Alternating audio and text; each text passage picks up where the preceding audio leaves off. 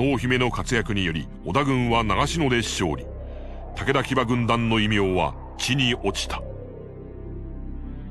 だが旧勢力の抵抗がやむことはなかった。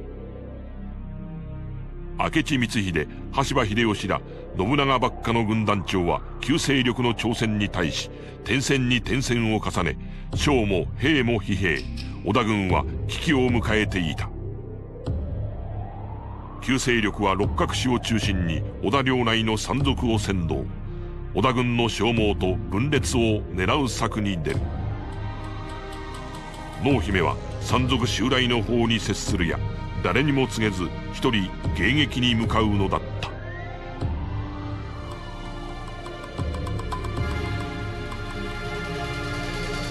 あの人を苦しめる者は許さない。それだけ。第2話。村落救出戦。どこまで？も。お供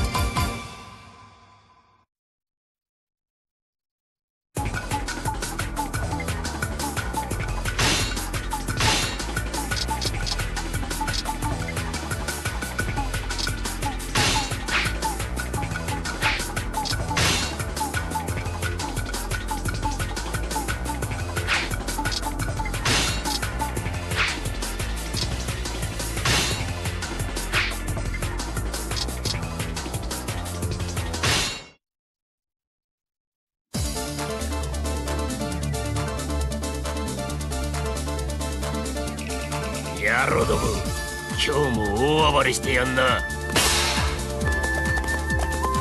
どどうなったか村をお助けくださいこんな茶番。あの人の手を煩わせるまでもないの。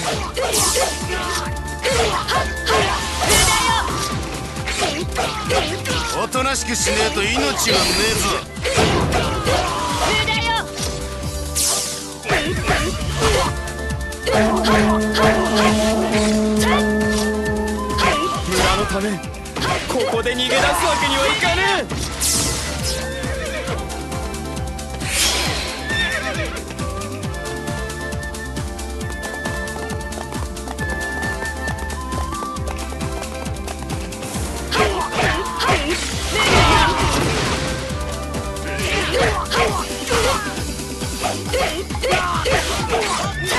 一騎手あの人今敵だらけ光秀ら軍団長は東方清掃連戦で疲弊しきった領内で騒動を起こし無駄を崩壊させくだらない敵のくだらない策けど残念ね私が裁く野郎どもやっちまいな。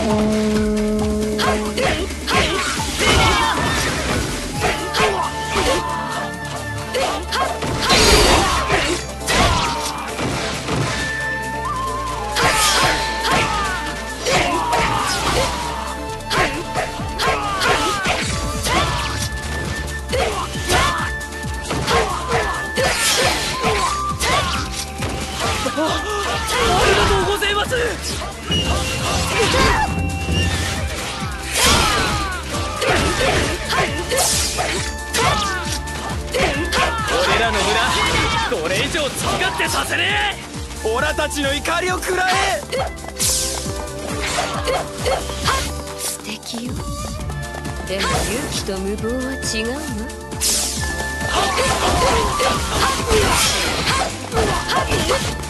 もっと激しくいくわよ。本陣に敵が至急救援を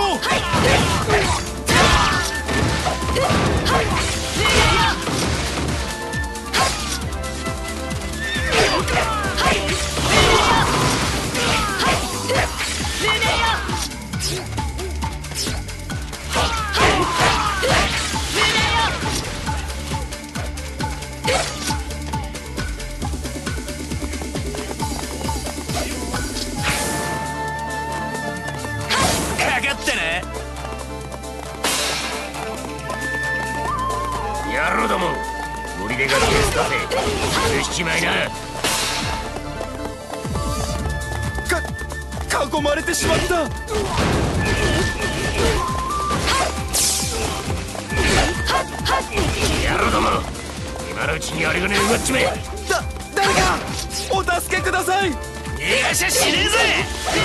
この私を閉じ込めるなんて意味どこよ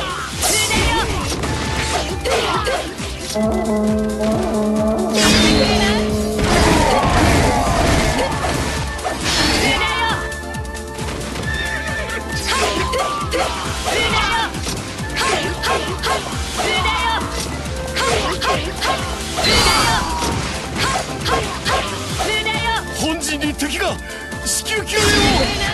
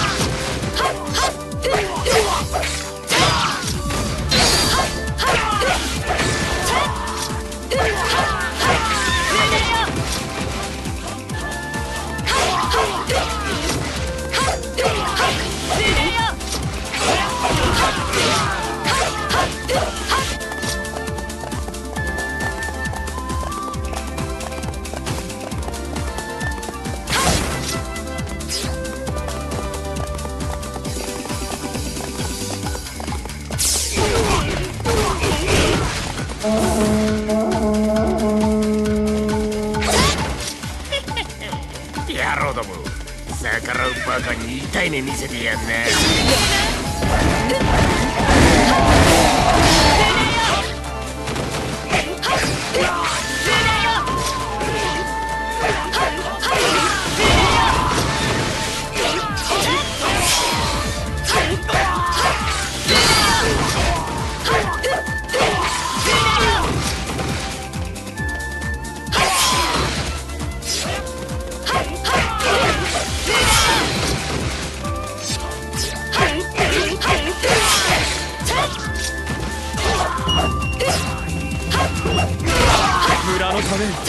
ここで逃げ出すわけにはいかねえ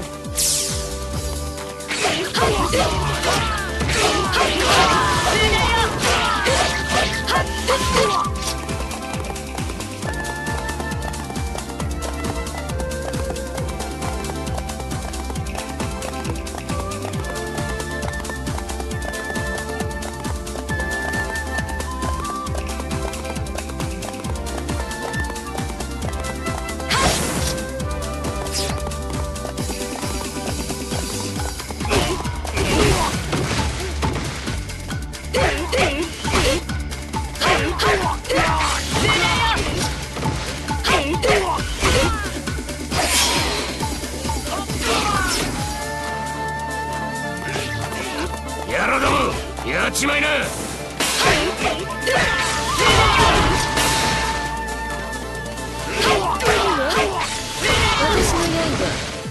させてあげる。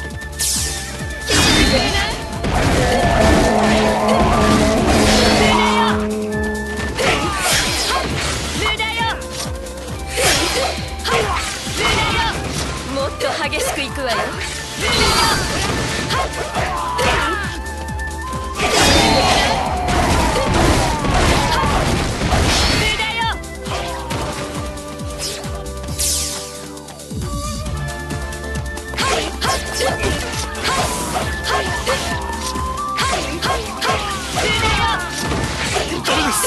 陣はもう持ちません救援を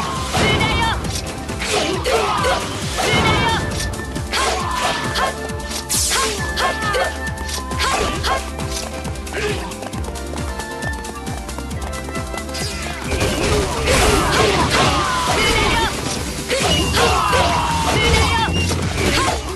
頼もしいお方だよっぽど痛い目に遭いてるらしいな。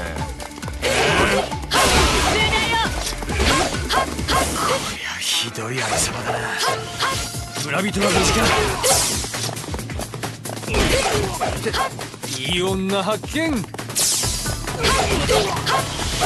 いざ戦わん。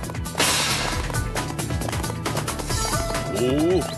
我が策に気づいていたとはさすが姫。これが策？本当に愚かな男救えないな。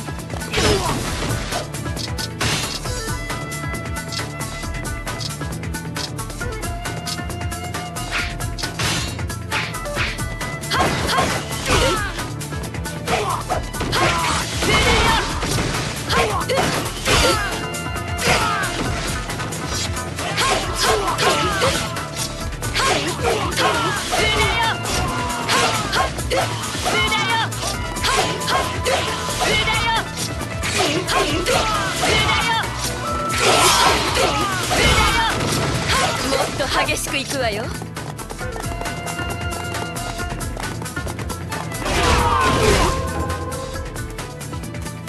埼玉子一参上でか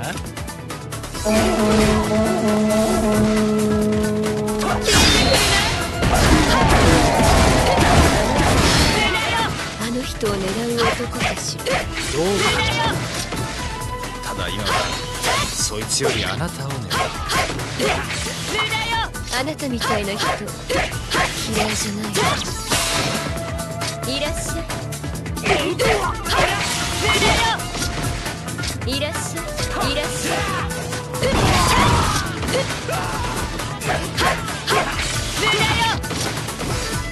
いらっしゃい。いらっしゃい。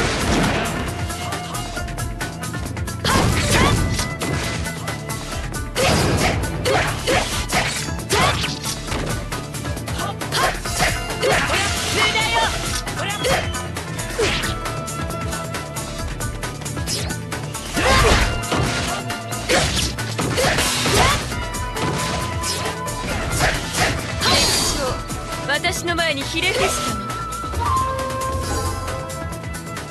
死ねないね世の女性が泣くから。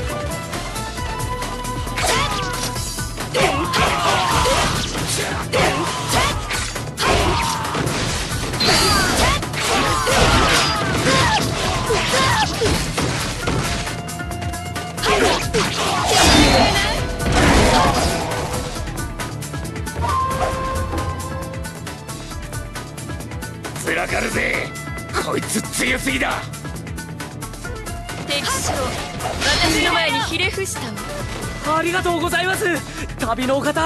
自分の愚かさに気づかない。哀れね。感じてくれた。果てるくらい